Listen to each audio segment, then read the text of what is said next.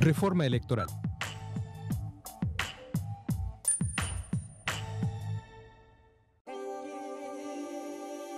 La reforma electoral fue resultado de una demanda social. El Senado la aprobó el 12 de septiembre de 2007 para cambiar de raíz el modelo electoral. Los partidos, precandidatos y candidatos en ningún momento podrán contratar o adquirir, por sí o por terceras personas, tiempos en radio y televisión Dirigentes o afiliados a un partido y personas físicas o morales tampoco podrán contratar tiempos para su promoción personal con fines electorales o para influir en las preferencias del electorado. Esta reforma limita la influencia del dinero en la política, reduce a los partidos políticos los recursos en año de elección presidencial en 50% y en 30% en elección intermedia.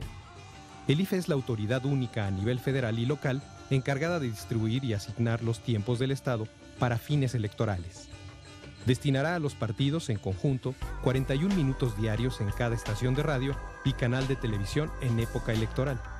Prohíbe la propaganda que denigre a las instituciones o que calumnie a las personas. Acorta la campaña presidencial a 90 días y la de diputados federales a 60. El gasto en campañas para diputados federales se reduce en un 70% y en un 50% en la elección presidencial. Toda propaganda gubernamental deberá suspenderse en los medios de comunicación social durante las campañas. Eleva a rango constitucional el derecho de réplica para establecer un marco de equidad en los casos de ataques por los medios de comunicación.